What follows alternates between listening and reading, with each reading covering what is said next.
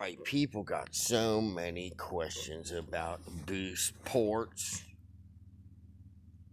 true extra transfers, and do I run a boost port on a piston port? I don't know if you can see, but yes, I do. Typically, it's a lot smaller. Uh, what does it help? It helps low end. It helps prevent it getting from loaded up. Uh, one thing in common, all my boost ports have in common, is the roof height, right? All of them open at the transfer duration opening line. That way, don't change your blowdown. Gone over this. What's blowdown? Blowdown is the separation, the distance between your transfer opening and your exhaust port roof. How do you change your blowdown? You increase the blowdown by lifting your exhaust port. That's what you do when you board a motor. You lift the exhaust, you lower the intake. You never fuck with the floor on the exhaust, and you do the floor on the intake. I don't know where the confusion is. Cause and effect of blowdown. Typical blowdown on a stock cylinder is 15 degrees. That's good for low end power. Motorcycle guys, they never can get enough blowdown to a certain extent we don't have the luxury of being able to run more than 30 degrees blowdown and have expect any low end power. Typically, a higher RPM motor will have more blowdown.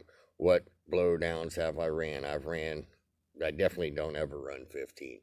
I run anywhere from 20 to 30 degrees blowdown. 30 degrees is going to be a boat anchor down low and it'll scream up top. As I said before, I like 20, 22 degrees, 24 degrees blow down. But I look at what's called blowdown percentage. What is that? You simply take your blowdown, divide that by your total transfer opening duration. Very simple math.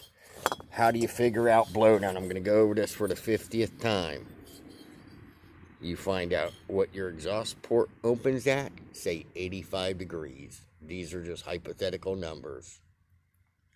If your exhaust port opens at 85 degrees and your transfer opens at 65 degrees, you would have 20 degrees blowdown.